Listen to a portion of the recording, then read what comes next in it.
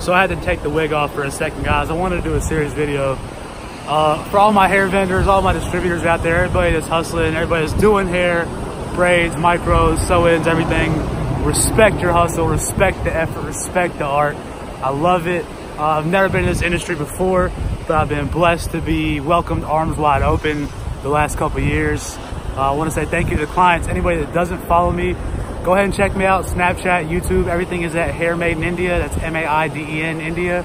Or Rocky Kandola, my Instagram, Snapchat, and everything. Um, I'll be in India in seven days. You guys can follow the journey out there.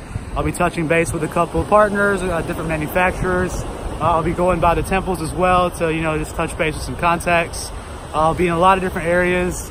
Uh, gonna put a lot of good information, a lot of value out for all my clients. The biggest thing I want to talk about today is the difficulty it is in, you know, running your own business and making your own life. A lot of people look at the end of it or look at the good sides and like, oh wow, it's cool, it's what it is, it's easy to start that. It's not, there's a lot of struggle. When you make it to a certain level, you realize there's more levels of struggle at that level. So you beat a couple hurdles and you get there and then you level up and you find out there's more stuff, a lot more stuff to deal with. And that's what makes a businessman, that's what makes a life, that's what makes um, this thing called entrepreneurship so special is the ability to face those hurdles, deal with it, and move on and level up to the next step. So anybody who's been out there for a while, that's exactly what you're doing, whether you think you are or not. I respect you, mad love, and um,